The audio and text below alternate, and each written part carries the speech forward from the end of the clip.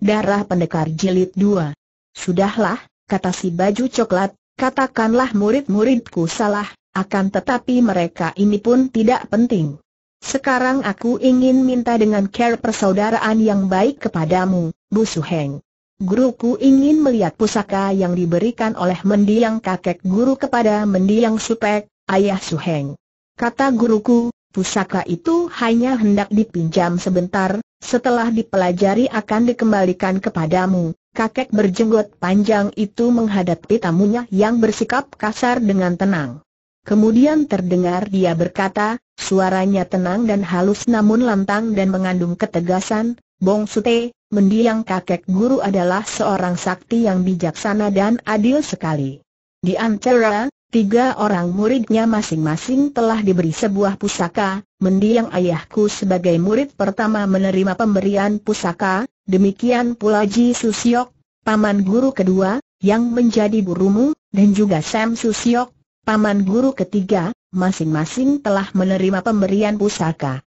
Kenapa sekarang Ji Susyok ingin memiliki pusaka yang telah diberikan kepada mendiang ayahku dan telah diwariskan kepadaku? Tapi Suhu hanya ingin meminjam sebentar, Bu Suheng, Sute, engkau tentu sudah tahu, dan demikian pula Ji Susyok bahwa pusaka sama dengan jiwa, tidak boleh dipinjam-pinjamkan, hahaha, jiwa tidak boleh dipinjamkan akan tetapi bisa saja diambil kakek berambut riap-riapan itu tertawa.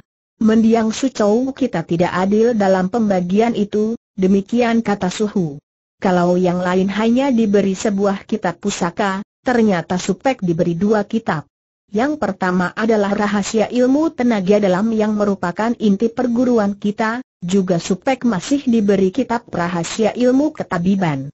Padahal guruku hanya diberi rahasia ilmu silat perguruan kita dan Susyo hanya diberi rahasia ilmu ginkang kakek guru yang termasyhur itu. Nah, karena itu maka guruku merasa curiga. Jangan-jangan dalam kitab ilmu ketabiban itu diterangkan mengenai kelemahan-kelemahan ilmu yang lain.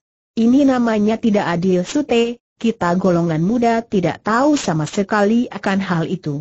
Pembagian itu adalah urusan orang-orang tua. Kalau Ji Susyok merasa tidak adil, kenapa tidak sejak dahulu mengurusnya dengan mendiang Sucong, atau dengan mendiang ayah kubu keks yang si jubah coklat membentak sambil menudingkan telunjuknya ke arah muka kakek jenggot panjang itu. Ucapanmu sungguh menghina.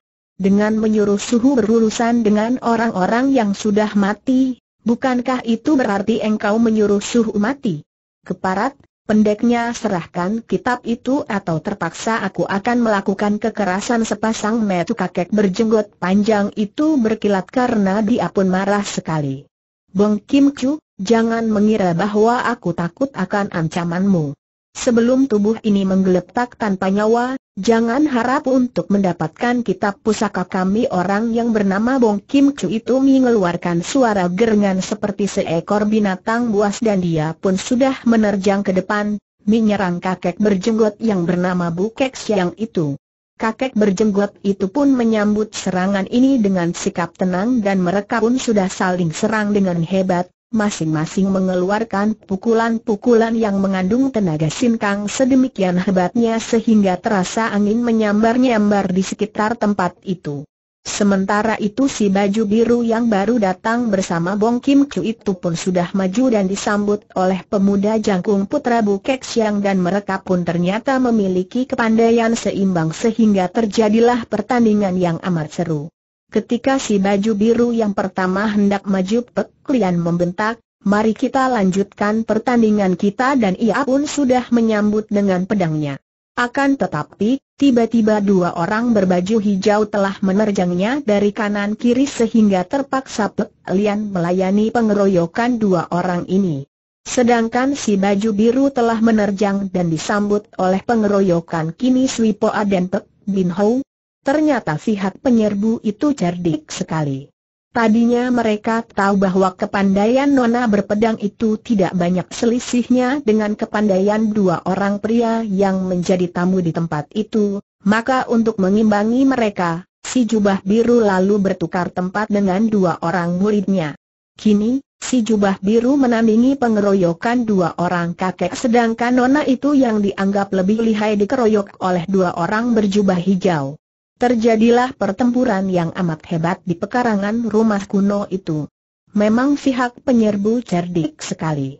Setelah bertukar tempat, kini jelaslah bahwa dikeroyok oleh dua orang jubah hijau, Pek Klian mulai terdesak dua orang itu juga sudah mengeluarkan senjata, yaitu keduanya mempergunakan semacam cambuk baja bergigi, semacam John Pianak an tetapi dibentuk mengerikan, seperti ekor ikan pihai yang panjang. Menghadapi kedua orang lawan ini, Pek Klian terdesak dan terpaksa ia memutar pedangnya untuk melindungi tubuhnya dari desakan dua buah senjata panjang yang berbahaya itu. Sedangkan Kim Sui Poa dan Pek Bin Ho sudah mainkan senjata pikulannya yang tak pernah terpisah dari tubuhnya itu, akan tetapi si baju biru itu biarpun bertangan kosong, ternyata memiliki gerakan ilmu silat yang aneh dan cepat sekali. Perubahan-perubahan gerakan kedua tangannya amat hebat dan juga gerakan kedua kakinya gesit dan kadang-kadang si jubah biru ini berloncatan dan menihar hitam dengan tiba-tiba secara tidak terduga-duga, membuat kedua orang pendekar itu benar-benar kewalahan. Sebaliknya, pertandingan antara pemuda jangkung dan jubah biru yang lain amat ramai, sungguh pun perlahan-lahan si pemuda dapat mendesak lawan. Juga tuan rumah, yaitu kakek jenggot panjang yang bernama Bukek Siang itu mulai dapat mendesak lawan. Si jubah coklat yang bernama Bong Kim Chu itu memang memiliki ilmu silat yang lebih hebat daripada lawannya, lebih cekatan dan perubahan pada gerakan tangannya amat aneh dan indah sehingga dia dapat memperoleh lebih banyak kesempatan untuk melakukan serangan terhadap lawan. Namun jelaslah bahwa dalam hal tenaga dalam, dia kalah oleh tuan rumah.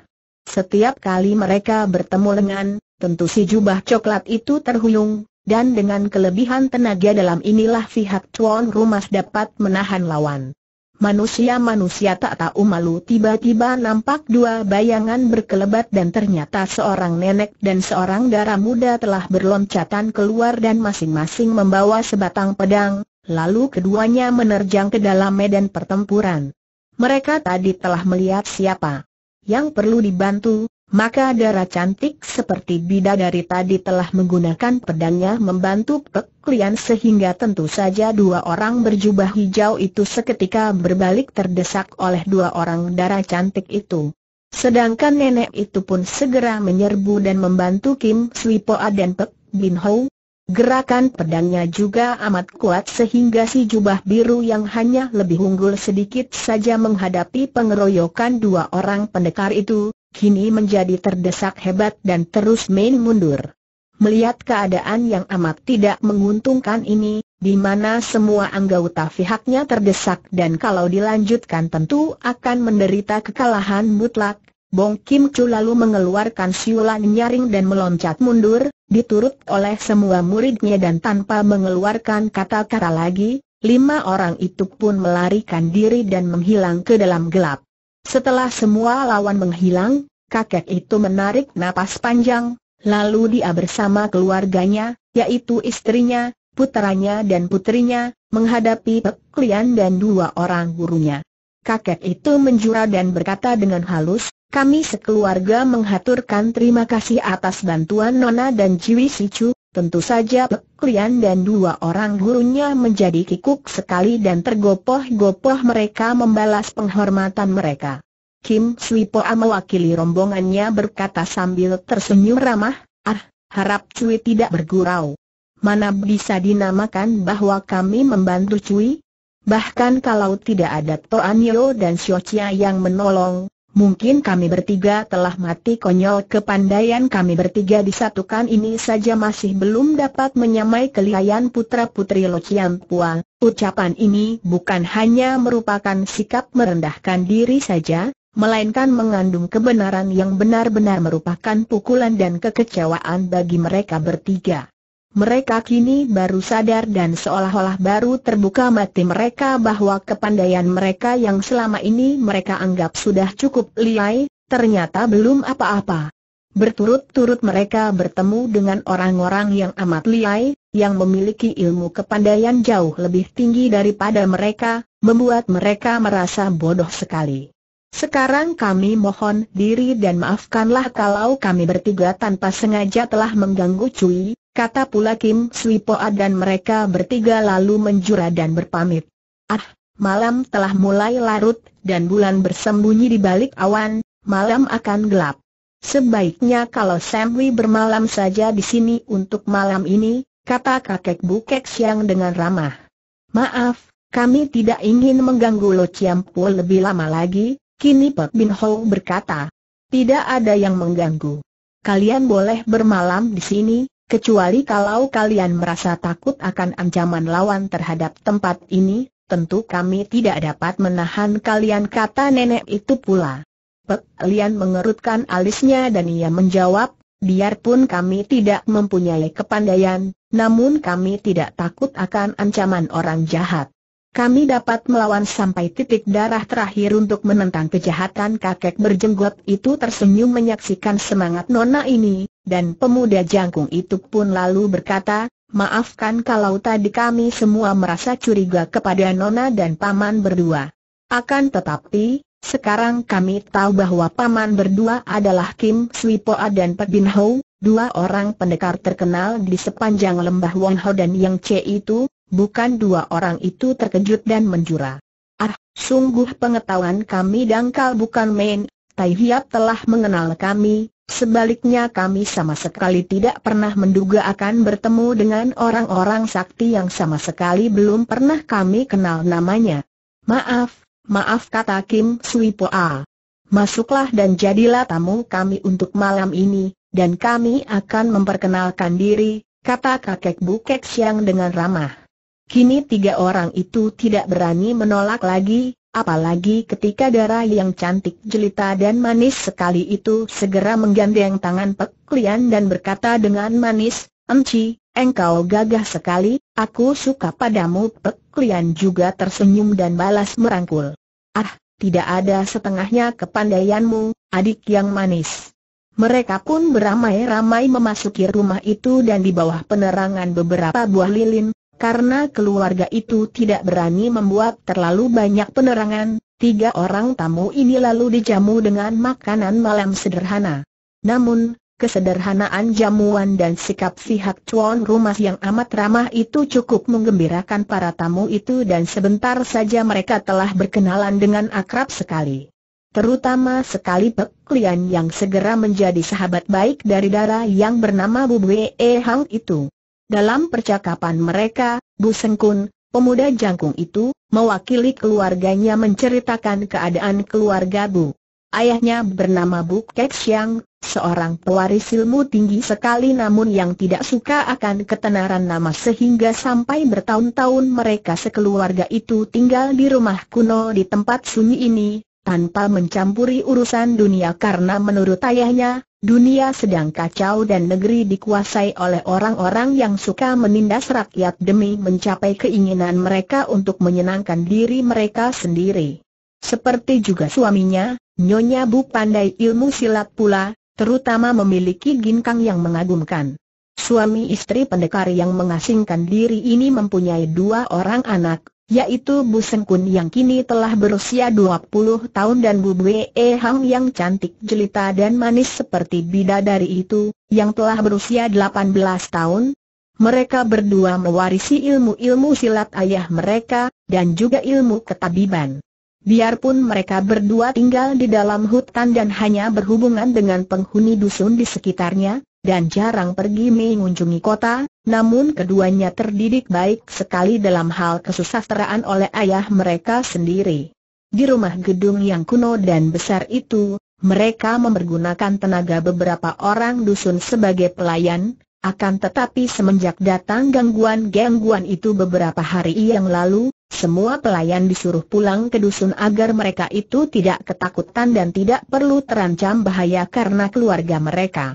Kalau boleh kami mengetahui, keluarga Lo Po ini dari perguruan manakah Kim Sui Poa memberanikan diri bertanya sedangkan yang lain-lain yang juga hadir di situ hanya mendengarkan saja.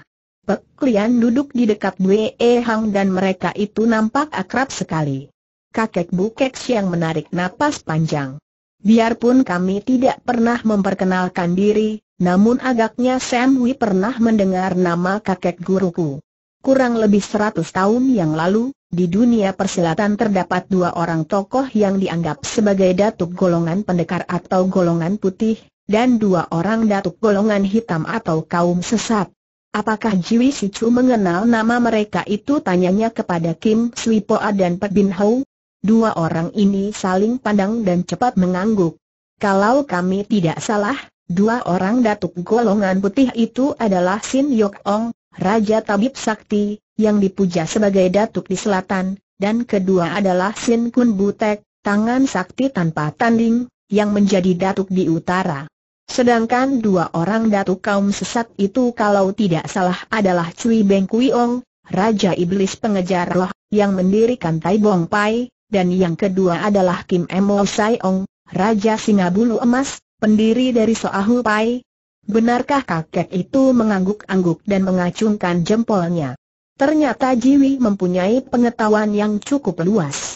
Nah, agaknya, jarang ada yang tahu karena memang murid-murid beliau tidak pernah menonjolkan diri.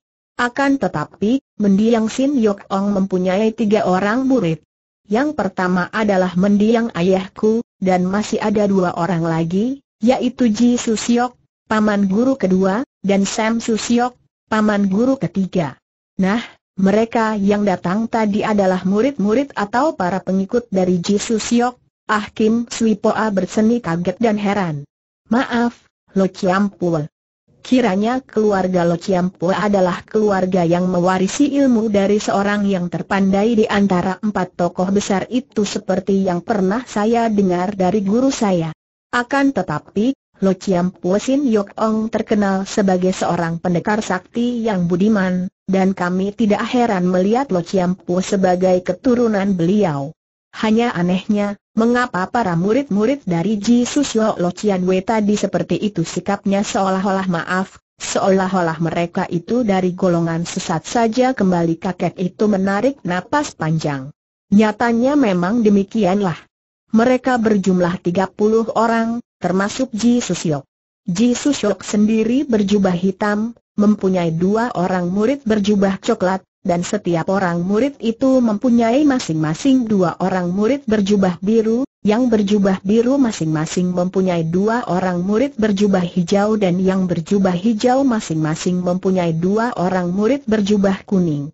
Jadi jumlah keseluruhannya 31 yang merupakan tenaga inti dari perguruan Ji Susyok.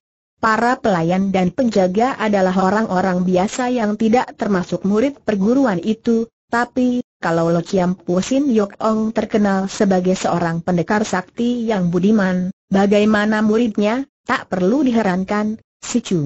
Apakah seorang guru itu dapat menentukan watak atau care hidup muridnya, apalagi kalau guru itu sudah meninggal dunia? Tidak. Watak dan cara hidup seseorang hanya ditentukan oleh si orang itu sendiri, dan mungkin saja keadaan sekelilingnya amat mempengaruhinya. Oleh karena itu, kami lebih senang tinggal di tempat sunyi, bergaul dengan kembang-kembang, tumbuh-tumbuhan dan binatang-binatang hutan. Atau paling banyak kami bergaul dengan orang-orang gunung dan dusun yang masih bersih dan polos batinnya, dua orang pendekar itu mengangguk dengan penuh kekaguman. Lo Chiam Po adalah pewaris dari mendiang Raja Tabib Sakti, sungguh kami merasa berbahagia sekali dapat kesempatan berjumpa dengan Lo Chiam Po sekeluarga, kata Pak Bin Hou. Tidak biasa kami memperkenalkan diri, dan kalau kami menceritakan keadaan kami kepada Samwi, adalah karena Samwi telah mendengar akan semua urusan tadi. Harap Samwi suka menyimpan rahasia kami ini dan tidak menceritakan kepada orang-orang luar, karena kami tidak suka akan banyak urusan, para tamu itu menyatakan kesanggupannya dan pihak tuan rumah lalu mempersilahkan para tamunya beristirahat di dalam kamar tamu yang banyak terdapat dalam rumah besar itu. Akan tetapi Pek Lian menolak dan berkata, bagaimana kami dapat tidur kalau keluarga tuan rumah terancam bahaya? Tidak, saya akan bergadang dan ikut menjaga kalau-kalau ada pihak penjahat yang berani datang lagi. Sungguh tidak enak kalau selagi kami tidur, pihak tuan rumah sibuk menghadapi serbuan lagi, wah, Enci, kami jadi merepotkan engkau saja, bukankah kau datang untuk beristirahat dan bukan untuk berjaga Bue Hang mencela sambil tertawa. Tapi sekarang kita sudah berkenalan dan tak dapat dikatakan tamu orang luar. Biarlah aku akan menemanimu dan kalau ada bahaya, biarpun aku bodoh, aku akan menyumbangkan tenagaku dan aku tidak takut mati di tangan penjahat untuk membela kebenaran ucapan ini juga sambil tertawa, akan tetapi pandang mata yang tajam dari kakek berjenggot itu dapat menyelami hati darah itu dan diam-diam dia merasa kagum. Bagus, engkau sungguh seorang berdarah pendekar, Nona. Baiklah kalau begitu, akan tetapi kami belum banyak mendengar tentang dirimu. Ceritakanlah sedikit tentang keluargamu. Ditanya demikian, tiba-tiba Pek Lian menundukkan mukanya dan wajahnya yang tadinya bersemangat dan terang itu menjadi muram dan sampai lama ia tidak mampu menjawab. Terbayanglah kembali ia kepada ayahnya dan hatinya menjadi berduka sekali. Tak dapat ditahannya lagi, kedua matanya menjadi basah dan ia menahan turunnya air mata dengan memejamkan kedua matanya. Melihat ini, Bukek Siang mengerutkan alisnya. Baru saja dia kagum menyaksikan kegagahan dan semangat darah ini dan sekarang dia harus melihatnya menjadi wanita yang cengeng. Dia merasa kecewa dan mengira bahwa dia telah salah menilai orang. Sementara itu, Kim Sui Poa lalu berkata dengan suaranya yang ramah, Lo Chiam Pual, harap maafkan Nona Ho yang dilanda kedukaan. Agaknya sukar baginya untuk menceritakan keadaannya dan karena kita telah saling berkenalan, kiranya tidak ada salahnya kalau saya menceritakan keadaannya. Bolehkah, Ho Chia silahkan, suhu. Kata Pek Klian dengan suara lirih dan gemetar. Semua anggota tuan rumah heran mendengar betapa Kim Sui Poa menyebut Nona kepada darah itu dan sebaliknya darah itu menyebut suhu. Kim Sui Poa lalu menceritakan keadaan keluarga Ho yang mengalami bencana di tangan kaisar itu. Menteri Kebudayaan Ho Kiliong adalah seorang duda, dalam arti kata, istrinya yang pertama, yaitu Ibu Pek Klian, telah meninggal dunia beberapa tahun yang lalu karena penyakit. Kini Menteri Ho tinggal bersama dua orang selirnya, dua orang adik perempuan dan seorang ipar bersama para keponakan dan pelayan-pelayan. Ketika Menteri Ho terkena musibah itu, seluruh keluarganya ditangkap dan dijebloskan penjara, dan hanya Ho Pek Klian seoranglah yang berhasil meloloskan dirinya. Kemudian Kim Sui Poa menceritakan usaha mereka untuk membebaskan Menteri Ho dan betapa mereka bertanding melawan seorang tokoh dari Soa Hupai yang berjuluk Pek Lui Kong, dan betapa dalam keadaan hampir berhasil, Menteri Ho sendiri yang mencegah mereka dan menyuruh mereka pergi.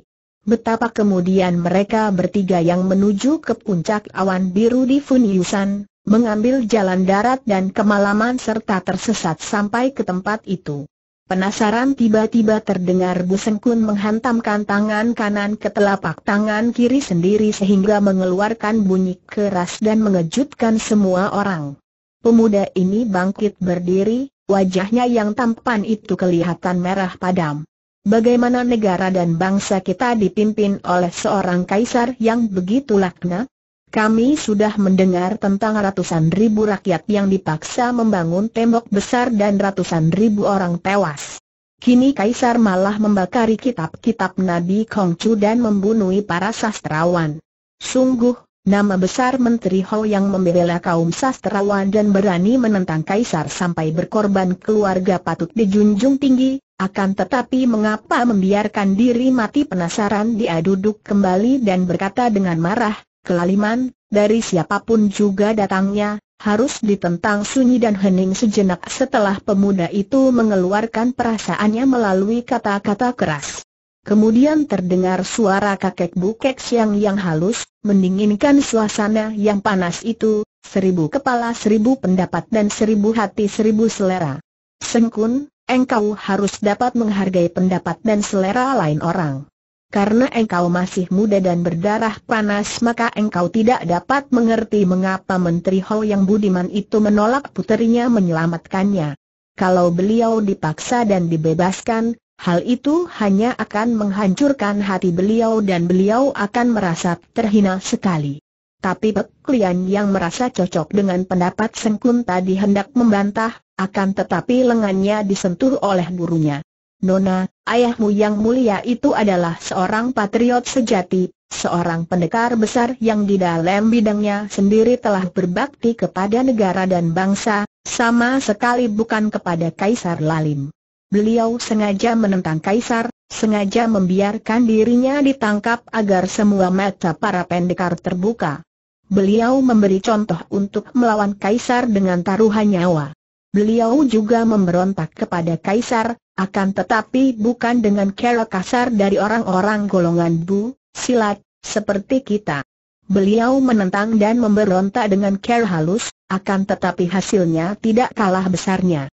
Kaisar akan nampak semakin buruk dalam pandangan kaum patriot sehingga hal itu akan menambah kekuatan mereka yang menentang Kaisar. Ayahmu memiliki kegagahan dan keberanian menentang maut, lebih besar daripada kita menentang maut dengan pedang di tangan. Aku amat menghormatinya, Nona, setelah mengenal Pek Klian sebagai putri Menteri Hou dan dua orang guru Nona itu sebagai para pendekar patriot yang membantu Liu Pang, Bang Chu yang amat terkenal dan dihormati oleh semua orang gagah itu, hubungan antara tamu dan tuan rumah menjadi semakin akrab. Mereka lalu melakukan penjagaan dan perondaan dilakukan secara bergilir. Pek bersama Bwe Hang berada di dalam kamar nona rumah itu, bercakap-cakap dan kemudian mereka mengasuh dengan duduk bersila dan melakukan siulian. Bagi orang-orang yang telah mempelajari ilmu silat tinggi seperti mereka, tidak tidur pun tidak menjadi persoalan dan mereka cukup duduk bersila membiarkan tubuh mereka dan pikiran mereka beristirahat, namun kesadaran mereka masih ada dan biarpun mereka seperti dalam keadaan tidur, namun sedikit perubahan keadaan saja sudah cukup untuk membuat mereka sadar. Mereka tetap waspada. Kakek Bu bersama istrinya juga beristirahat di dalam kamar mereka. Kim Sui Poa duduk bersila seorang diri di ruangan tengah, sikapnya penuh kewaspadaan. Pek Bin Ho dan Bu Seng Kun tadinya juga berjaga di situ, akan tetapi mereka berdua lalu melakukan perondaan di sekitar tempat itu dengan hati-hati dan waspada sekali. Sambil meronda, Pek Bin Ho yang merasa amat tertarik oleh keluarga yang menjadi pewaris ilmu dari tokoh datuk yang hidup seabad yang lalu, yaitu Sin Yok Ong itu, mengajak si pemuda untuk membicarakan soal perguruannya. Saya pernah mendengar bahwa seabad yang lalu, nama Sin Yok Ong merupakan nama yang amat hebat dan terkenal di seluruh dunia sebagai tokoh yang paling lihai di antara datuk-datuk lainnya yang pernah ada. Menurut keterangan ayah memang ada benarnya demikian. Akan tetapi sesungguhnya ilmu silat empat orang datuk itu, dua dari golongan putih dan dua dari golongan hitam, berimbang tingkatnya. Hanya karena Su Chou Sin Yok Ong itu memiliki ginkang, ilmu meringankan tubuh, yang hampir dikatakan sempurna, maka beliau mempunyai kelebihan daripada yang lain, dan agaknya itulah kemenangannya. Sayang bahwa kami sekeluarga tidak mewarisi ginkang yang hebat itu, kata Bu Sengkun. Menurut kata-kata Bong Kim Chu si jubah coklat itu, keluargamu menerima dua macam ilmu, Tai Hiap, Bu Sengkun menarik napas panjang. Menurut penuturan ayah, di antara tiga orang murid beliau, tidak ada yang memiliki bakat hebat seperti beliau sehingga tidak ada yang dapat menguasai semua ilmu dari Su Chou Sin Yok Ong itu. Maka agar adil, Su Chou lalu membagi-bagi ilmunya, disesuaikan dengan bakat masing-masing. Kakekku, sebagai murid pertama, menerima pusaka tentang latihan tenaga dalam. Murid kedua menerima kitab pusaka tentang ilmu-ilmu silat dari Sucou dan rahasia-rahasianya, sedangkan murid yang termuda menerima kitab pusaka tentang ilmu ginkang beliau yang hebat itu, sayang bahwa kepandaian yang hebat dari mendiang Sin Yok Ong harus dibagi-bagi seperti itu.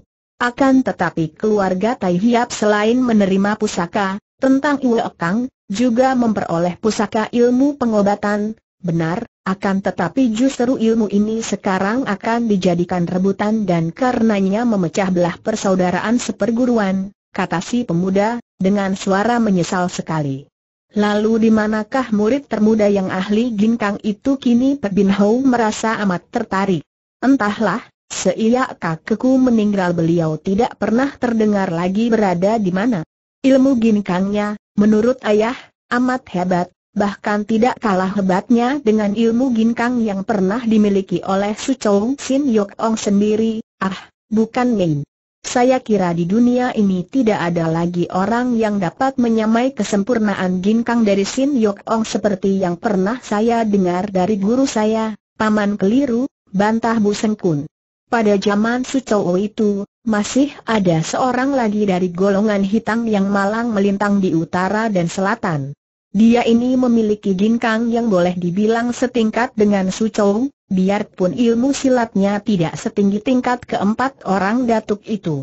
Tokoh ini amat terkenal, terutama di dunia Kang Ou, di kalangan Liok Lim dan bahkan ditakuti oleh pemerintah pada waktu itu. Nama julukannya adalah Bit Boong, Raja Kelelawar. Ah, saya pernah mendengar tentang Raja Kelelawar itu.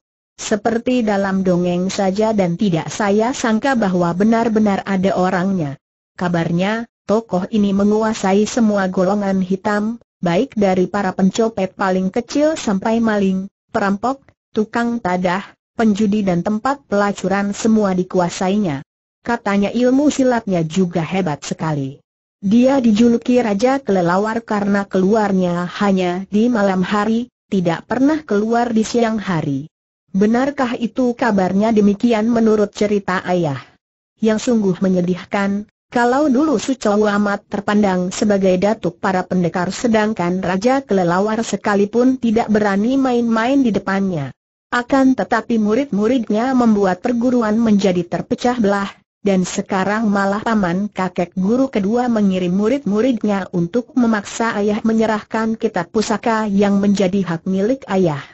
Sungguh membuat hati penasaran dan menyesal sekali. Mengapa bermusuhan antara saudara seperguruan sendiri sehingga hanya menimbulkan kelemahan di antara saudara sendiri Pek Bin Hou menarik napas panjang. Dia sudah banyak pengalaman dan tidak merasa heran.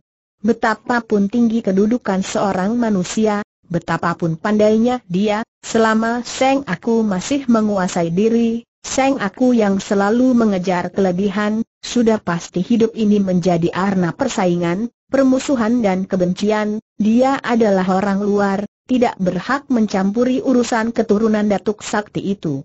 Akan tetapi, melihat betapa sikap Bu Sengkun demikian polos, demikian terbuka terhadap dirinya, dia pun merasa tidak enak kalau hanya dam saja. Bu Tai Hiap, sungguh patut disayangkan bahwa ilmu-ilmu dari mendiang kakek buyut kelurumu itu, Sinyo Ong Lo Chiam Pual, telah terpecah-pecah dan terbagi-bagi sehingga tentu saja menjadi berkurang. Kelihayannya, siapa tahu kalau-kalau usaha peminjaman pusaka itu bermaksud untuk mempersatukan kembali ilmu-ilmu yang tercecer-cecer itu? Apakah tidak pernah Tai Hiap mempunyai minat untuk mempelajari semua ilmu keturunan perguruan Tai Hiap? Dengan jalan mempersatukan dan saling mempelajari dengan ilmu-ilmu yang terjatuh kepada murid-murid yang lain ah tanda seru Bu Sengkun terbelalak dan berteriak kaget. Benar juga kata-katamu, Paman. Kenapa keluarga kami tidak berpikir sejauh itu? Bukankah lebih baik kalau kami memberikan kitab itu dan sebaliknya meminjam pusaka mereka dan kami saudara-saudara seperguruan saling mempelajarinya sehingga kami semua dapat mewarisi seluruh ilmu dengan lengkap Bin Hou tersenyum. Sebuah pikiran yang baik sekali, Butai Hiap. Akan tetapi, melihat sikap mereka, agaknya mereka itu tidak dapat digolongkan pendekar-pendekar dan mungkin saja akan bertindak curang. Bagaimanapun juga, sebaiknya kalau Tai Hiap memperbincangkannya dengan ayah Tai Hiap, mereka terus meronda dan bulan sudah naik tinggi. Keadaan amat sunyi sekali. Sunyi yang mengerikan karena mereka masih menduga akan adanya ancaman pihak yang tidak beritikat baik terhadap keluarga Bu. Tiba-tiba saja keadaan menjadi terang benderang di daerah hutan itu. Kiranya awan tipis yang tadinya lewat dan menghalangi sinar bulan, kini lenyap dan bersih terbawa angin. Langit nampak terang dan bulan tidak terhalang apa pun sehingga dapat menjatuhkan sinarnya ke bumi sepenuhnya. Pek Bin Ho dan Bu Sengkun yang mengadakan perondaan, tiba di tepi hutan. Keadaan tetap amat sunyi dan tiba-tiba terdengar bunyi gonggong anjing dari jauh. Bukan seperti anjing menggonggong ke arah bulan purnama, dengan suara yang menyayat hati, seolah-olah anjing yang menggonggong bulan itu menjadi berduka dan menangis, melainkan gonggong anjing pelacak.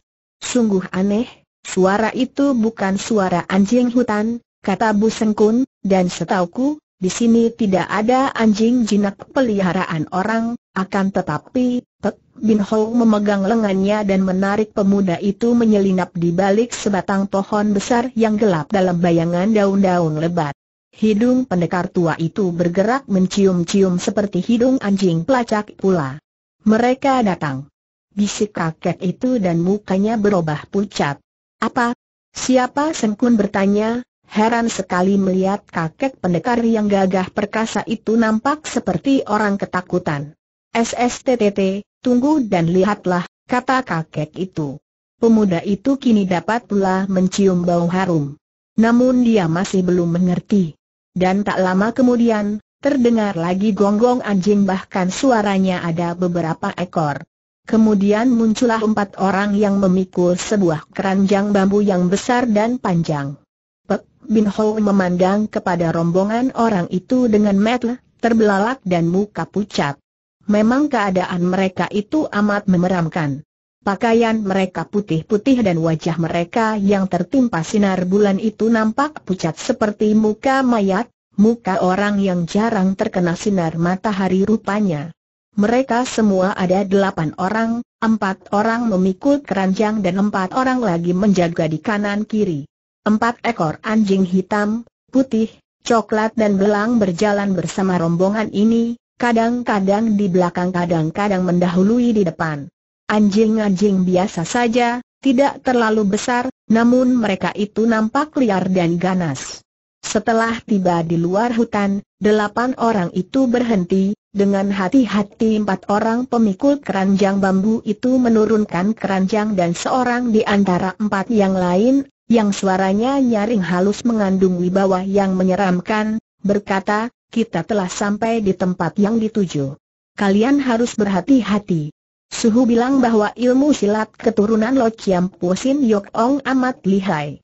Biarlah kita berhenti di sini dulu, nanti setelah lewat tengah malam kita mengetuk pintu, sementara itu, Bu Sengkun yang memandang penuh perhatian, tidak juga mengenal siapa adanya orang-orang aneh yang berpakaian putih dan bermuka pucat itu. Melihat bahwa agaknya kakek Pek Bin Ho mengenal mereka, maka dia pun berbisik lirih bertanya. Ah, apa kau tidak dapat menduga, Teh Yap? Mereka itu jelas adalah orang-orang dari kuburan besar, iblis-iblis dari Tai Bong Pai kini Sengkun terkejut sekait dan memandang ke arah rombongan erang yang berhenti agak jauh dari situ dengan penuh perhatian. Tentu saja dia sudah mendengar banyak tentang Tai Bong Pai. Nama Tai Bong Pai muncul pada zaman kakek buyut gurunya, kira-kira seabad yang lalu. Karena agaknya Pek Bin Ho tahu banyak tentang partai ini, maka dia bertanya lagi, Paman, benar-benar hebatkah mereka itu mereka mengerikan kata Pek Bin Ho lirih. Akan tetapi kenapa mereka itu datang ke sini? Padahal, mereka hampir tidak pernah keluar dari sarang mereka, yaitu sebuah kuburan kuno yang amat luasnya, yaitu bekas kuburan para bangsawan di zaman dahulu dan yang letaknya jauh di daerah barat melalui gurun Godi. Kuburan di bawah tanah itu berisi kamar-kamar seperti sebuah istana dengan benteng yang kuat dan luas. Seratus tahun lebih yang lalu, tempat ini dimanfaatkan oleh seorang datuk iblis yang membuat jalan-jalan terowongan antara makam-makam itu dan dijadikan sarang, turun-temurun sampai sekarang, Sengkun mengangguk-angguk kagum. Iblis-iblis Tai Bong Pai ini mudah diketahui karena kemunculan mereka tentu membawa bau dupa dari tubuhnya apabila mereka berkeringat. Akan tetapi mereka itu jarang sekali keluar sehingga keadaan mereka tidak dikenal orang, paman, mari kita keluar dan kita temui mereka. Mereka tiba di daerah kami, perlu kutanya apa maksud mereka mengunjungi kami di tengah malam begini, kata Sengkun. Selagi Pebin Hou meragu karena maklum betapa berbahayanya bertemu dengan iblis-iblis atau kawanan Tai Bong Pai itu, tiba-tiba ada anjing menggonggong di dekat mereka. Tentu saja anjing-anjing itu dengan mudah dapat menemukan terapat persembunyian mereka dan kini empat ekor anjing pelacak itu sudah mengurung mereka dan menggonggong dengan ribut sekali. Melihat keadaan anjing-anjing mereka itu, seorang di antara delapan orang aneh itu sekali menggerakkan kakinya sudah mencelat dan tiba di depan Sengkun dan Pek Bin Ho yang terpaksa harus keluar dari tempat persembunyian mereka. Orang-orang jahat, keluarlah dari tempat persembunyian kalian untuk menerima hukuman kata orang Tai Bong Pai itu yang ternyata adalah si pemimpin yang bersuara nyaring tadi. Muka orang ini pucat sekali, Pakaiannya putih-putih seperti orang dalam keadaan berkabung, dari mori kasar dan berlengan pendek. Rambutnya digelung ke atas dan keadaannya amat sederhana, agaknya disesuaikan dengan keadaan orang berkabung. Di tengah dahinya terdapat sebuah benjolan sebesar kacang yang berwarna merah, membuat wajahnya nampak lebih menyeramkan lagi. Pek Bin Hou melangkah maju dan memandang kepada orang itu, lalu berkata tenang dan sabar, harap saudara jangan sembarangan memaki orang sebagai orang jahat. Sebaliknya kalianlah yang datang di tempat orang di malam buta, sungguh amat mencurigakan, nanti dulu, apakah engkau keturunan dari Raja Tabib Sakti tanya orang itu. Tentu saja Pek Bin Ho menggeleng kepalanya. Bukan, aku titik tak peduli engkau siapa, kalau bukan keturunan Raja Tabib Sakti, engkau harus mati karena telah melihat kami berkata demikian, orang berpakaian putih itu sudah menyerang Pek Bin Ho dengan tamparan kedua tangan dari kanan kiri. Plak plak plak plak tanda seru empat kali Pek Bin Ho diserang dan empat kali dia menangkis dengan pengerahan tenaga, akan tetapi ternyata orang itu kuat sekali dan sama sekali tidak terdorong oleh tangkisan-tangkisannya, bahkan dia sendiri merasa betapa kedua lengannya tergetar hebat. Bukan main, pikirnya. Kembali dia telah bertemu dengan orang yang amat liai, yang agaknya memiliki tingkat kepandaian tidak kalah tinggi daripadanya. Dan orang berpakaian putih itu pun agaknya penasaran karena empat kali serangannya berturut-turut dapat dihindarkan lawan, maka dia mendesak terus dengan pukulan-pukulan yang semakin lama menjadi semakin dahsyat. Pek Bin Hou mengelak, menangkis dan balas menyerang, namun dia segera terdesak oleh lawan yang memiliki gerakan silat yang luar biasa anehnya itu. Terutama sekali bau dupa harum itu membuatnya agak muak dan pening. Melihat keadaan Pek Bin Hou yang terdesak itu, Bu Seng Kun menjadi tidak tega, marah dan penasaran. Berhenti teriaknya sambil meloncat ke depan. Tamu dari manakah yang berani kurang aturan mengacau daerah kami si muka pucat itu menghentikan serangannya dan memandang kepada Bu Sengkun. Apakah engkau keturunan Raja Tabib Sakti benar? Aku adalah anggota keluarga Bu maafkan kami orang itu lalu menjura dengan hormatnya kepada Bu Sengkun. Karena tidak tahu, kami telah membuat ribut, dan tujuh orang temannya semua menjura kepada Bu Sengkun dengan sikap hormat sekali. Tiba-tiba terdengar seruan kaget dari Pebin Hou. Ujung lengan bajunya terkena noda merah seperti terkena darah, padahal dia sama sekali tidak merasa telah terluka dalam perkelahian tadi. Keringatnya yang keluar di lengan telah bercampur darah. Dengan mata, terbelalak dia memandang kepada bekas lawannya.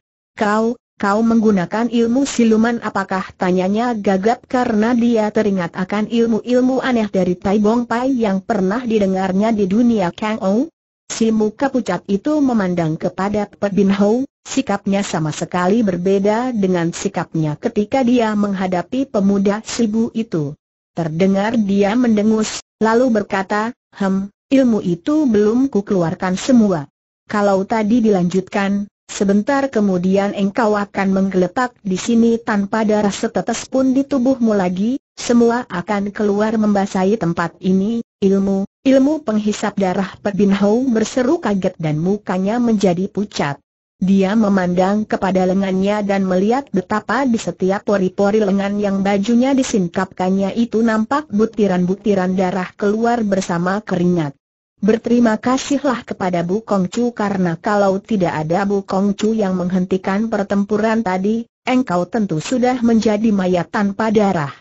Melihat muka tuan rumah yang kami hormati, biarlah ku beri obat kepadamu, tidak perlu kata Bu Sengkun paman ini adalah tamuku, maka akulah yang wajib menolongnya. Pemuda ini mengeluarkan sebutir pel merah dan memberikannya kepada Pek Bin Hou. Paman, telanglah pel ini. Pek Bin Hou menjadi girang, menerima pel itu dan menelannya. Hal ini dilihat oleh delapan orang kawanan Tai Gong Pai itu dengan pandang mata kagum. Mereka agaknya sudah tahu akan kelihayan tuan rumah dalam ilmu pengobatan, maka mereka merasa kagum sekali betapa hanya dengan sebutir pel saja, maka seketika darah yang keluar dari lubang-lubang lengan bersama keringat itu seketika berhenti. Siapakah kalian Bu Sengkun bertanya? Benarkah dugaan kami bahwa kalian adalah para anggota Tai Bong Pai delapan orang itu menjura dengan hormat, dan pemimpin mereka yang tadi melawan Pek Bin Hou menjawab, tidak keliru dugaan Bu Kong Chu. Harap dimaafkan kalau kami mendatangkan keributan, akan tetapi kami perlu sekali untuk menghadap keturunan Raja Tabib Sakti yang kalau tidak salah bernama Bukek Siang Tai Hiap dan tinggal di sini, beliau adalah ayahku. Kalau kalian hendak bertemu dengan keluarga kami, mengapa datang malam-malam maaf, Kongcu, akan tetapi kami tidak pernah keluar pada siang hari orang itu berkata dan agaknya merasa heran dan penasaran. Teringatlah Sengkun akan kebiasaan yang luar biasa dari kawanan Tai Bong Pai, yaitu mereka hanya keluar di malam hari saja. Maka, maklum bahwa mereka itu tentu mempunyai urusan penting sekali dan kalau dia berdua dengan Pek Bin Hou saja yang harus melayani delapan orang ini, tentu keadaannya akan berbahaya sekali. Kalau begitu, marilah kalian ikut bersamaku menghadap ayah, Beramai mereka pun mengikuti Bu Sengkun menggotong lagi keranjang bambu itu. Pek Bin Hou berjalan mengikuti mereka dari belakang, diam-diam menduga-duga apa gerangan isi keranjang bambu yang dipikul dengan amat hati-hati oleh empat orang itu. Dia sudah banyak mendengar akan kekejaman orang-orang aneh dari Tai Bong Pai yang terdiri dari golongan sesat, maka dia pun merasa curiga dan menduga bahwa kedatangan mereka ini tentu membawa niat yang kurang baik. Bu Sengkun membawa para tamu itu ke pekarangan luar rumah keluarganya. Pemuda ini bersikap hati-hati sekali maka membawa mereka ke pekarangan, tempat terbuka dan kedatangan mereka tentu saja dapat dilihat dengan baik oleh ayah bundanya. Dan memang sesungguhnya lah. Kedatangan rombongan itu sudah dapat dilihat oleh Bu Kek Siang. Pendekar ini telah melihat dan dapat menduga siapa yang datang berkunjung, maka dia pun sudah menanti di ruangan tamu yang berada di depan sebelah kanan. Ayah, tamu-tamu dari Tai Bong Pai datang berkunjung teriak putranya dari luar. Persilahkan mereka memasuki ruangan tamu jawabnya dari dalam ruangan itu yang sudah diterangi oleh cahaya beberapa batang lilin yang dinyalakan. Bu Sengkun lalu mempersilahkan tamu-tamunya masuk. Dia mendahului sebagai penunjuk, jalan sedangkan di belakang rombongan itu berjalan Bin Hou. Ketika mereka semua memasuki ruangan tamu, ternyata di situ Bu Kek yang telah menanti bersama istrinya, putrinya, dan juga Kim Sui Poa telah siap sedia dan berada di situ ketika delapan orang itu memasuki ruangan tamu, bau depa menyerang hidung. Keranjang bambu diturunkan perlahan-lahan dan delapan orang itu lalu menjura dengan hormatnya. Cui jauh-jauh datang ke sini malam-malam, tidak tahu ada urusan apakah dengan kami Bukek yang bertanya dengan sikap tenang dan dialah yang dapat menduga bahwa isi keranjang itu tentulah seorang manusia, mungkin yang sedang menderita sakit, karena kalau tidak begitu, apa perlunya mereka ini datang? Selama hidupnya dia belum pernah berurusan dengan pihak Tai Bong Pai. Akan tetapi delapan orang itu tidak menjawab tiba-tiba terdengar suara melengking halus dan tinggi sekali, seperti suara beberapa ekor nyamuk berterbangan dalam ruangan tamu itu, makin lama semakin kuat dan nyaring menyakitkan telinga kemudian, Tahu-tahu di ambang pintu telah berdiri seorang wanita berusia kira-kira 50 tahun, membungkuk dan menjura dengan sikap hormat sekali kepada pihak tuan rumah. Bau depa kini luar biasa kerasnya, mengalahkan bau depa yang dibawa oleh delapan orang pertama tadi. Wanita itu pun memakai pakaian serba putih dan walaupun kainnya terbuat dari bahan yang lebih baik daripada delapan orang tadi, namun tetap saja potongannya sederhana sekali. Wajahnya masih membayangkan kecantikan walaupun sudah mulai keriputan, sepasang matanya yang bersinar tajam itu kini nampak diliputi kegelisahan dan kedukaan. Maafkan kami, katanya dengan suara halus. Kami datang dari seberang gurun Gobi, untuk minta pertolongan keturunan dari Raja Tabib Sakti yang kami hormati.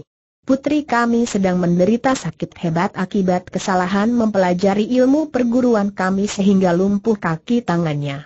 Sudah setahun ia menderita dan segala usaha kami sia-sia berlaka. Kemudian kami teringat bahwa di zaman dahulu, Raja Tabib Sakti merupakan satu-satunya orang yang dapat menyembuhkan segala macam penyakit yang ada di dunia ini.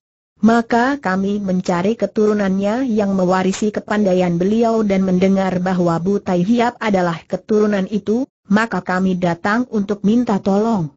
Harap dimaafkan bahwa kami datang di tengah malam, maklumlah karena kami tidak biasa melakukan perjalanan pada siang hari, setelah berkata demikian, Wanita itu menghampiri keranjang bambu lalu membuka tutupnya dengan hati-hati sekali. Nampaklah seorang gadis yang berwajah cantik rebah di situ. Namun gadis itu kurus sekali dan wajahnya, lehernya, kedua tangan yang tidak tertutup itu nampak pucat kebiruan seperti membeku. Bahkan bibirnya pun nampak kebiruan sehingga dipandang sepintas lalu saja orang tentu akan mengira bahwa yang rebah di dalam keranjang itu tentu telah menjadi mayat wanita itu. Berusaha untuk menahan perasaannya, namun tidak urung air matanya berlinang dan menuruni pipinya yang keriputan. Agaknya karena kedukaan maka wanita ini menjadi kurus keriputan. Anakku. Bisiknya menahan isak. Bukek Siang mengerling ke arah puterinya sendiri yang berdiri di dekat Bu Sengkun. Dia dapat membayangkan betapa akan sedih hatinya sebagai seorang tua kalau melihat putrinya, Bu Bue Hang mengalami penderitaan seperti gadis dalam keranjang bambu itu.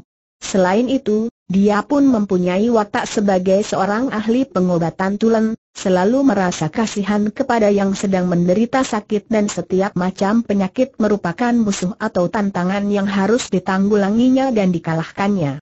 Makin berat penyakit itu, makin besar pula gairah di dalam batinnya untuk mengalahkannya. Butai Hiap, tolonglah anakku. Nyonya itu meratap. Baiklah, Toanio. Biarkan aku memeriksanya, Bukek Siang lalu bangkit dari tempat duduknya, menghampiri keranjang itu lalu melakukan pemeriksaan. Diperiksanya nadi pergelangan tangan gadis itu, dibukanya pelupuk matu itu, dan setelah dia mengetuk sana-sini dengan penuh ketelitian, pendekar itu lalu kembali ke tempat duduknya, menarik napas panjang berkali-kali dan setiap gerak-geriknya diikuti oleh pandang matu nyonya itu dengan penuh kegelisahan. Bagaimana, Butai Hiap akhirnya dia bertanya dengan gelisah, akan tetapi penuh harap-harap cemas. Keadaan puterimu memang parah, Toanio. Kami suka membantu, walaupun aku tidak dapat menjamin apakah kami akan berhasil. Untuk menyembuhkan puterimu, selain pengobatan berupa obat minum dan tusuk jarum, juga dibutuhkan sinkang yang kuat dari aliran persilatan kami. Tenaga sinkangku sendiri terbatas, maka terpaksa aku harus minta bantuan anak istriku. Kalau kami semua turun tangan, kiranya baru berhasil, walaupun aku belum yakin apakah kekuatan kami itu sudah cukup untuk menembus semua pembuluh darah dan urat-urat syaraf dalam tubuh puterimu yang seperti sudah membeku itu. Kami dengan segala senang hati akan berusaha menolongnya, akan tetapi, akan tetapi, bagaimana, Tai Hiap sang ibu bertanya penuh kegelisahan. Ketahuilah, Toanio, pada saat ini keluargaku sedang mengalami gangguan dan ancaman dari musuh-musuh kami Bukek yang menarik napas panjang dan merasa berduka sekali. Alangkah akan baiknya kalau Jisusyoknya itu membantunya mengobati gadis ini, bukannya memusuhinya untuk merampas kitab pusaka seperti sekarang ini. Dengan tenaga Sin Kang dari Jisusyoknya yang amat hebat, yang lebih tinggi daripada ilmunya sendiri, apalagi kalau dibantu pula oleh Sin Kang dari Sam Susyoknya, dan dia sendiri turun tangan mengobati, pasti gadis ini akan dapat disembuhkan dengan cepat. Mendengar keterangan tuan rumah yang amat diharapkan akan dapat menyelamatkan nyawa putrinya, wanita itu lalu menjatuhkan diri berlutut di depan Bukek Siang. Bu Tai Hiap, kalau Tai Hiap bersama keluarga Tai Hiap sudi menolong putriku maka kami yang akan menjaga rumah ini dari gangguan siapa pun juga. Kami anak murid dari partai kuburan besar, biarpun bukan orang-orang yang disukai oleh kaum persilatan, akan tetapi kami tahu membalas budi kebaikan orang lain. Selama hidup turun-temurun, anak murid kami akan menjunjung tinggi budi kecintaan keluarga Bu sampai turun-temurun, Bukek Siang tersenyum. Toanio salah sangka. Melawan penyakit mengobati orang merupakan kewajiban seorang ahli pengobatan. Bukan hanya kewajiban, juga merupakan suatu pekerjaan yang kucinta, Siapa pun yang datang minta tolong kepadaku untuk diobati tentu akan kutolong tanpa pandang bulu, tanpa minta imbalan jasa, tanpa pamrih. Sekarang, baiklah kita mengadakan pembagian kerja. Aku bersama istri dan kedua orang anakku akan mencoba untuk mengobati putrimu. Tiga orang tamu kami dapat membantu kalau mereka suka. Bukek yang memandang ke arah Pek Bin Ho, Kim Sui Poa, dan Pek Lian. Sebenarnya, Bukek yang tidak mengharapkan bantuan mereka untuk mengobati gadis itu, melainkan mengharapkan bantuan mereka untuk menghadapi lawan kalau mereka muncul. Karena, selagi melakukan pengobatan, kalau musuh, musuh itu datang sungguh amat berbahaya sekali, dan dia pun belum tahu bagaimana nanti sikap orang-orang Tai Bong Pai. Jangan khawatir, Lo Chiampul. Saya akan membantu keluarga Lo Chiampo kata Peklian yang menghampiri Bue E Hong, gadis cantik jelita yang telah menjadi sahabat baiknya itu. Benar, kami berdua pun siap untuk membantu, kata Kim Sui Poa sedangkan Perbin Ho juga mengangguk menyetujui. Diam-diam Bukek yang merasa girang, akan tetapi dia masih mencoba lagi, akan tetapi, pengobatan ini akan memakan waktu yang cukup lama, mungkin sampai belasan hari lamanya. Apakah Sam Wi akan dapat membantu terus dua orang pendekar dari puncak awan biru itu menjadi ragu-ragu mendengar ini, akan tetapi mereka telah didahului oleh Peklian yang berkata dengan nada suara tetap dan nyaring, tentu saja kami akan terus membantu sampai pengobatan itu berhasil baik wanita berpakaian putih itu cepat menghadap kepada Peklian dan dua orang gurunya, lalu menjura dengan hormat. Tak tahu bagaimana kau harus berterima kasih kepada Samwi, dan kami sungguh merasa malu sekali bahwa murid kami pernah menyerang penolong kami. Tiba-tiba wanita itu menoleh ke arah anak buahnya yang tadi berkelahi dengan Pek Bin Ho dan membentak, Ajui, hayo maju dan serahkan nyawamu orang yang disebut Ajui itu terbelalak, tubuhnya menggigil akan tetapi dia lalu maju berlutut di depan wanita itu. Semua orang merasa terkejut sekali, akan tetapi ketika wanita itu mengangkat tangannya, tiba-tiba Pek Bin Ho meloncat ke depan dan berseru, tahan wanita itu tidak jadi menurunkan pukulan mautnya dan menoleh kepada Pek Bin Ho. Apakah saudara hendak turun tangan sendiri? Lakukanlah, dia sudah menyerahkan nyawanya untuk menebus dosa tadi, tidak bentak Pek Bin Ho, bergidik menyaksikan kekejian ini. Aku sama sekali tidak ingin melihat dia dibunuh hanya karena tadi berkelahi denganku. Kami berkelahi karena salah paham. Toanio, jangan bunuh dia Bukek Siang juga melangkah maju. Sian Cai tanda seru. Aku disuruh menyelamatkan nyawa seseorang dari ancaman maut, akan tetapi sekarang ada orang hendak dibunuh begitu saja. Sama sekali tidak boleh hal ini dilakukan.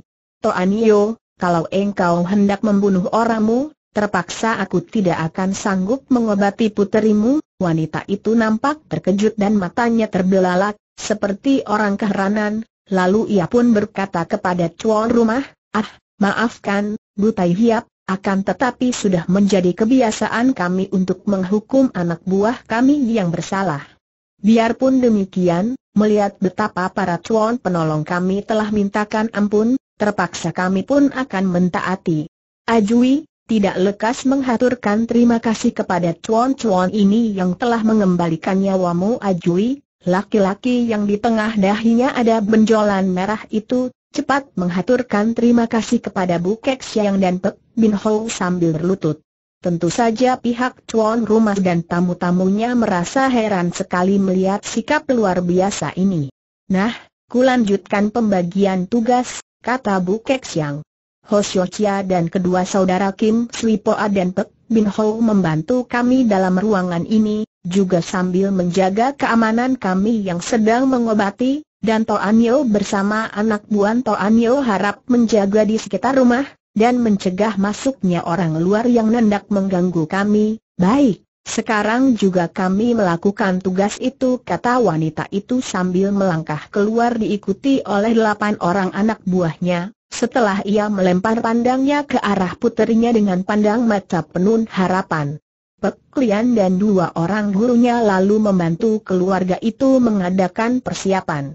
Sebuah meja panjang diangkat ke dalam ruangan itu, juga sebuah perapian dengan alat-alat menggodok obat dipersiapkan di situ.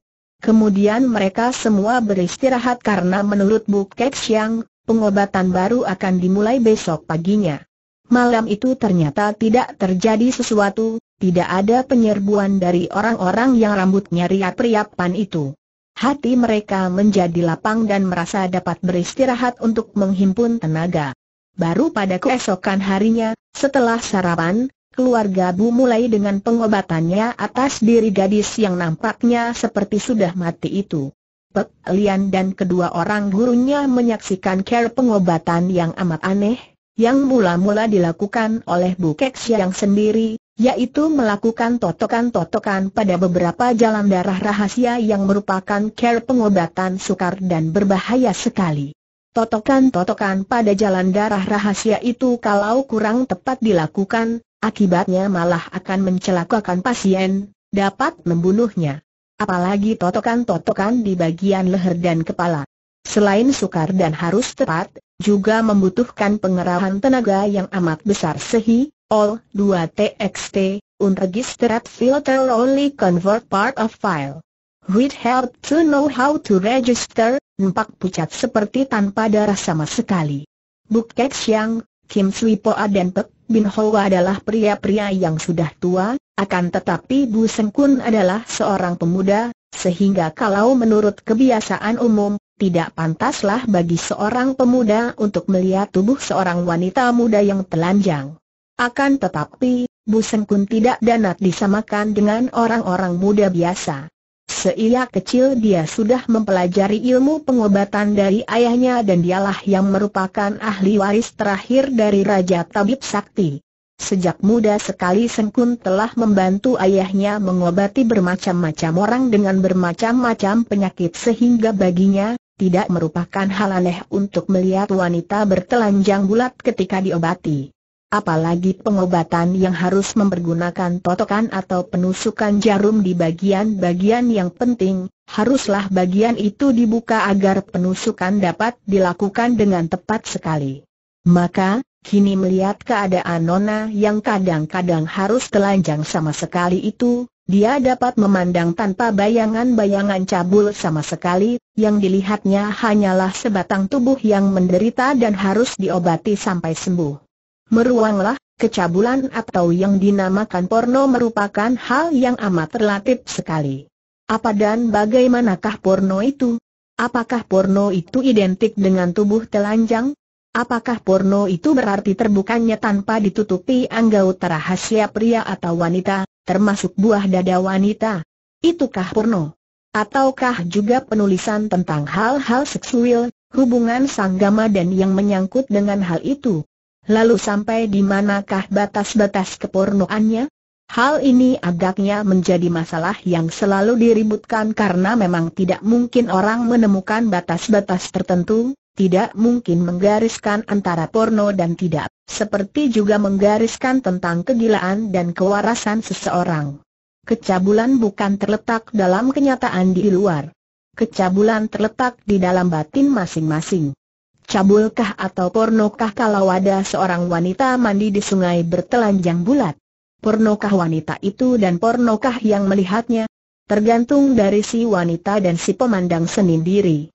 Wanita mandi telanjang di sungai itu adalah suatu kenyataan, dan kalau si wanita mandi karena tidak ada tempat lain baginya untuk mandi, kalau ia mandi karena kebutuhan akan mandi tanpa mempunyai dasar untuk memamerkan tubuh telanjangnya itu untuk menarik perhatian orang, untuk menimbulkan gairah pria yang memandangnya, maka ia sama sekali tidak porno.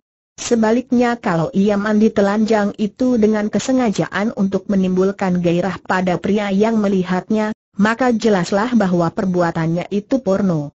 Di lain pihak, kalau ada pria yang melihat ia mandi, melihat tanpa adanya pikiran yang membayang-bayangkan hal lain daripada yang ada, maka dia pun sama sekali tidak porno walaupun boleh jadi dia akan melihat wanita mandi itu. Sebaliknya kalau di waktu dia memandang tubuh wanita telanjang itu dia membayangkan kemesraan-kemesraan seperti misalnya dia bermain cinta dengan wanita itu sehingga timbullah nafsu berahi, maka tentu saja dia itu porno.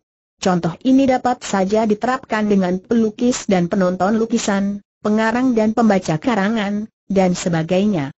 Bukan gambar atau cerita yang menentukan porno tidaknya, melainkan batin si pelaku itu sendirilah, baik dia itu pencipta keadaan itu maupun si pemandang keadaan. Dan tentu saja, kalau diteliti mudah saja terasa apakah si pencipta keadaan itu menciptakan sesuatu dengan dasar batin porno ataukah tidak. Seorang wanita mandi telanjang bulat belum tentu porno, akan tetapi kalau wanita ini dengan pakaian lengkap bersikap memancing gairah dengan menyingkap sedikit gaun memperlihatkan betis saja, ia sudah porno. Wanita berpakaian putih bersama delapan orang anak buahnya menjaga dengan tertib dan dengan teliti, bergiliran siang malam dan mereka itu menyediakan keperluan makan mereka sendiri, tanpa mengganggu keluarga cuan rumah. Hanya beberapa kali sehari saja wanita itu menjenguk ke dalam kamar tamu yang menjadi kamar pengobatan itu untuk melihat keadaan putrinya. Pengobatan itu pun tidak dilakukan terus-menerus. Bermacam-macam care pengobatan dilakukan oleh Bu Kek Siang. Tubuh gadis itu telah digosok seluruhnya oleh arak obat, totokan-totokan dan tusukan-tusukan jarum telah dilakukan.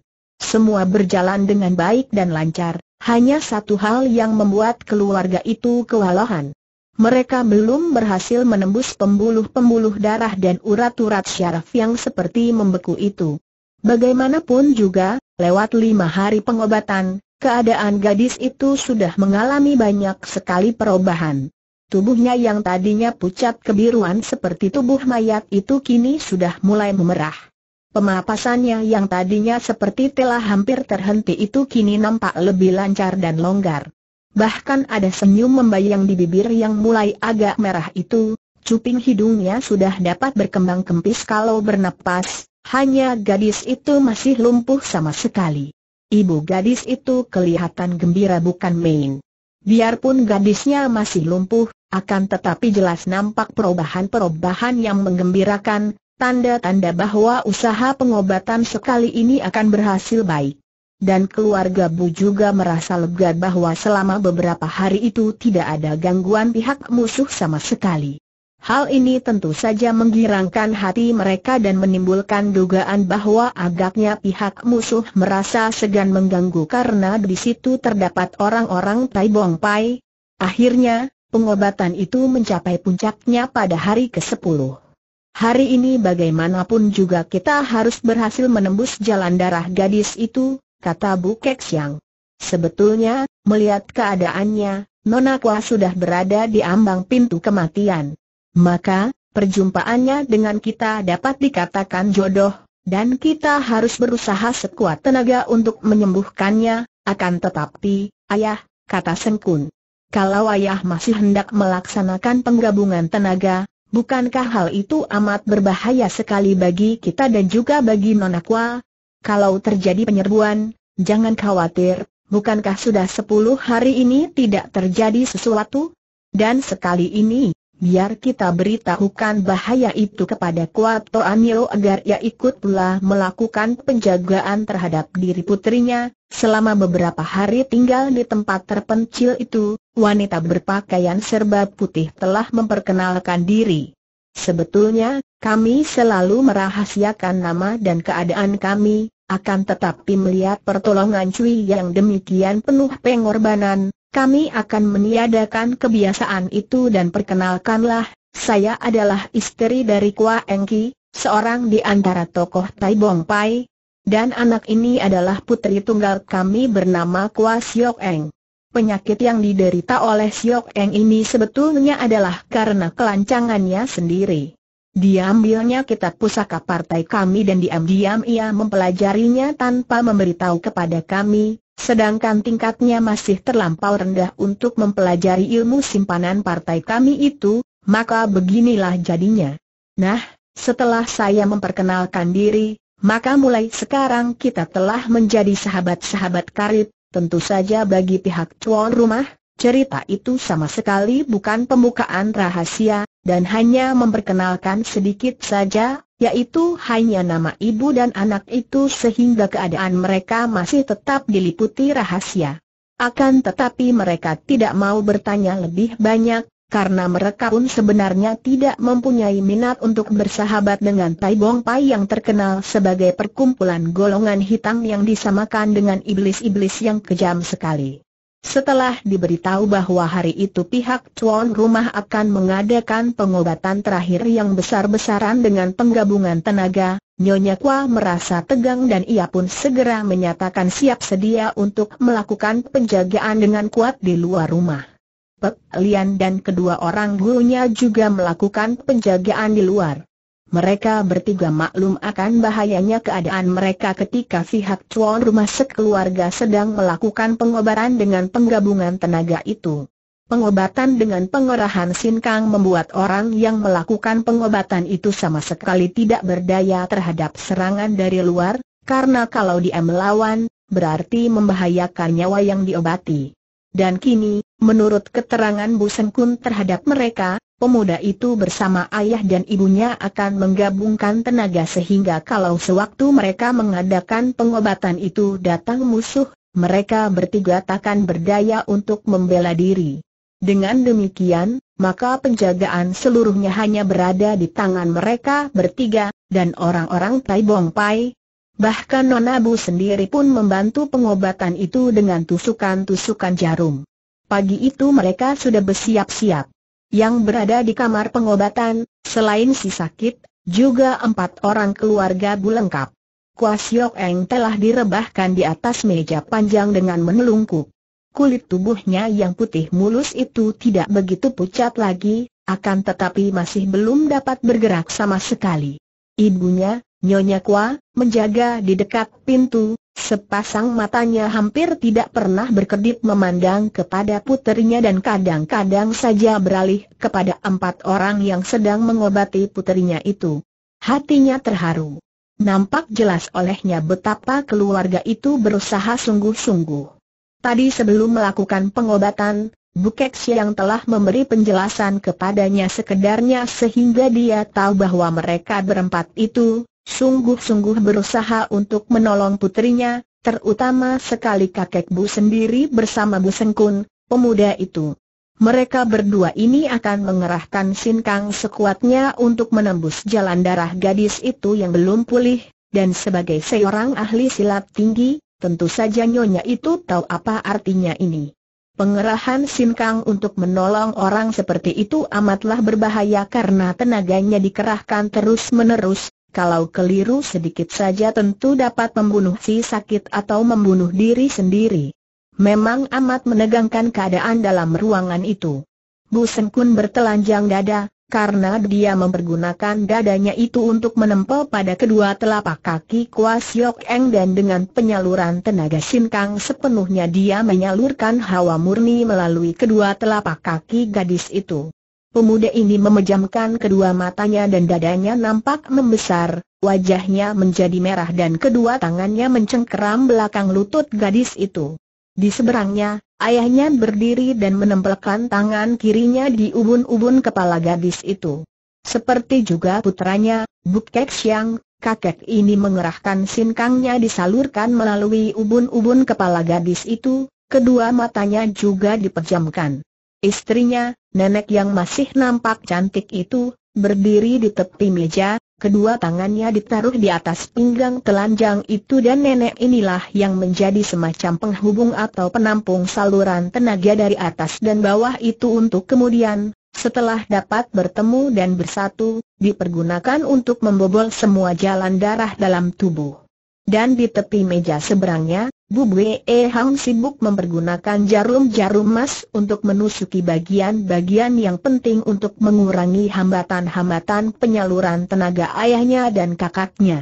Dan memang, dalam hal ilmu pengobatan, Gadis inilah yang telah mewarisi kepandaian ayahnya dan dibandingkan dengan ibunya dan kakaknya, ia memang lebih pandai dalam hal tusuk jarum.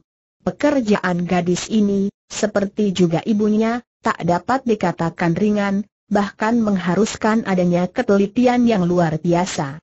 Empat orang itu sungguh mengerahkan dan mengeluarkan semua kepandaian mereka untuk menolong gadis itu. Hal ini nampak jelas sehingga seorang seperti nenek tua yang selamanya berkecimpung dalam dunia hitam itu merasa terharu. Matahari telah naik tinggi. Setengah hari telah lewat dan suasana dalam ruangan pengobatan itu menjadi semakin tegang. Empat orang keluarga Bu itu bermandi peluh, namun agaknya usaha mereka itu sia-sia belaka karena seluruh tenaga ayah dan anak itu belum juga dapat dipertemukan. Sengkun yang telah mengerahkan seluruh tenaganya itu hanya bisa mendorong sampai ke pangkal paha dan dia telah menemui rintangan-rintangan di sepanjang kedua kaki itu yang seolah-olah telah membeku. Ayahnya lebih sukar lagi, hanya dapat mendorong sampai di bawah pundak. Dwe Hang sibuk menusuk sana-sini sehingga tubuh belakang gadis yang diobati itu penuh dengan jarum kecil-kecil, perak dan emas. Dan Nyonya Bu juga sibuk sekali, menggunakan sinkang seperti hendak menyedot hawa murni dari atas bawah, namun belum juga terasa olehnya datangnya sinkang yang disalurkan oleh suaminya dan putranya itu. Cepat, tambah lagi tenaganya ibu ini mendorong dan mengerutkan alisnya. Ah tidak tidak bisa lagi, ibu, aku tidak kuat lagi tiba-tiba dari sudut bibirnya mengalir darah segar. Koko Bwe E Hang berseru khawatir. Akan tetapi pemuda itu tidak memperdulikan dirinya. Moi moi, cepat kau bantu ayah. Tanda seru Ah Seng Kun mendesah dan Bwe E Hang menoleh memandang ayahnya dan semakin gelisah ia melihat betapa ayahnya juga payah sekali keadaannya, wajahnya pucat pasi dan dari lubang hidungnya juga mengalir darah. Ibu, ayah itu. Akan tetapi, Ibunya hanya menggeleng kepala dengan sikap tenang karena ibu ini percaya bahwa suaminya dan puteranya masih akan dapat menolong diri sendiri. Kalau sudah ada darah keluar dari mulut atau hidung, berarti bahwa tenaga mereka sudah sampai di puncaknya, dan tentu mereka akan mengendurkan tenaga karena kalau dilanjutkan berarti mencari mati sendiri. Ibu gadis yang sakit itu sejak tadi melihat ini. Wajahnya pucat dan beberapa kali ia memejamkan mata, mengepal tinju dan membanting, banting kakinya. Akhirnya ia pun berseru, sudahlah. Sudahlah gagalan. Tanda seru ia melihat betapa usaha keluarga Bu yang mati-matian itu telah menemui ke Keadaan yang amat menegangkan itu membuat mereka semua tidak sadar bahwa di luar ramah telah terjadi penyerbuan. Ada beberapa orang yang luar biasa datang menyerang dan tentu saja serbuan itu disambut oleh para penjaga yang berada di luar rumah, yaitu Hop Pek Klian dan dua orang gurunya, dan delapan orang anggota perkumpulan Tai Bong Pai. Akan tetapi, para penyerang itu pun lihai bukan main. Dua orang di antara mereka adalah orang-orang yang berambut riap-riapan dengan pakaian berwarna coklat. Masih ada lagi teman-teman mereka, yaitu empat orang berjubah biru dan delapan orang berjubah hijau. Tentu saja pihak penyerbu menjadi jauh lebih kuat. Seperti telah kita ketahui, seorang yang berjubah biru saja kepandaiannya sudah sedemikian hebatnya sehingga ketika dikeroyok oleh Kim Sui Poa dan Pak Bin Ho, dua orang pendekar ini pun kewalahan. Apalagi kini terdapat dua orang yang berjubah coklat, ditambah empat orang murid mereka dan delapan cucu murid. Sebentar saja delapan orang anak buah Tai Bong Pai sudah terpukul roboh dan Pek Klian sendiri bersama dua orang gurunya juga hanya mampu menangkis saja ketika dikeroyok oleh orang-orang berjubah biru dan hijau.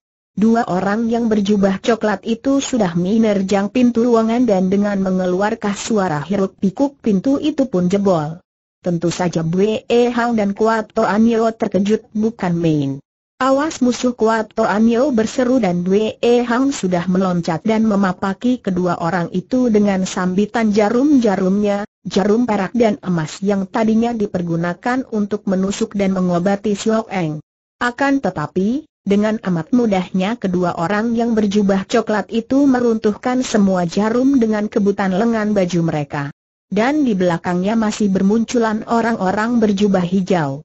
Mereka ini segera mengeroyok Kuat Toanyo yang merobohkan dua orang di antara mereka. Ketika melihat betapa jarum-jarumnya tidak ada gunanya, Wei Hang menerjang ke depan sambil mencabut pedangnya, menyerang seorang di antara dua orang berjubah coklat itu. Akan tetapi orang itu mengelak dan dari belakangnya, Wei Hang merasakan sambaran angin pukulan dahsyat. Dia mengelak dan membalik, dan ternyata yang menyerangnya telah tidak ada lagi dan juga orang berjubah coklat yang pertama yang diserangnya tadi sudah tidak ada. Mereka berdua itu telah meloncat dengan gerakan yang amat cepatnya, seorang berada di belakang ayahnya dan seorang pula di belakang kakaknya. Kuat Anyo sendiri sibuk dikeroyok oleh orang-orang baju biru sebanyak empat orang. Ternyata bahwa Peklian dan dua orang gurunya juga sudah terluka dan kini hanya dikeroyok oleh orang-orang jubah hijau, sedangkan empat orang berjubah biru sudah menyerbu ke dalam dan mengurung Kuato Anio, membuatnya tidak berdaya. Dua orang berjubah coklat itu tahu bahwa di antara mereka semua, yang paling lihai adalah Bu Kek Siang dan Bu Sengkun, maka mereka pun langsung saja meloncat ke belakang ayah dan anak yang masih mengerahkan tenaga kepada si sakit itu. Juga nyonya Bu tak dapat meninggalkan tempatnya, karena hal itu akan membahayakan si sakit. Pula, peristiwanya terjadi sedemikian cepat dan tiba-tiba. Tahu-tahu kedua orang berjubah coklat itu telah mengirim serangan kilat ke arah ayah dan anak itu. Kakek berjubah coklat yang pertama sudah menghantamkan tangan kanannya dengan jari-jari tangan terbuka ke arah lambung Bukek Siang, sedangkan kakek kedua dengan kepalan tangan kanannya sudah menghantam ke arah punggung Bu Sengkun. Kedua pukulan ini datang dengan berbareng dan tepat benar. Blaar. Akibatnya hebat. Ayah, anak dan ibu roboh tersungkur. Dari mulut mereka munkrat darah segar dan seketika mereka itu roboh pingsan. Akan tetapi yang lebih aneh lagi, pada saat pukulan itu tiba, terdengar jeritan nyaring dari mulut gadis yang menelungkup itu, dan beberapa batang jarum yang masih menancap di tubuhnya mencelat sedangkan bekas-bekas tusukan jarum itu mengeluarkan darah, dan ia pun terkulai dan pingsan. Kuato Anio marah sekali, mengira bahwa puterinya tentu menjadi korban dan tewas. Dengan kemarahan meluap, tokoh Tai Bong Pai ini mengamuk, dikeroyok oleh empat orang berjubah biru yang agaknya kewalahan juga menghadapi amukan ibu yang marah ini. Dwe E Hang sudah memutar pedangnya, menyerang seorang berjubah coklat akan tetapi ia tidak mampu mencegah ketika seorang berjubah coklat yang lain telah memasuki rumah keluarganya.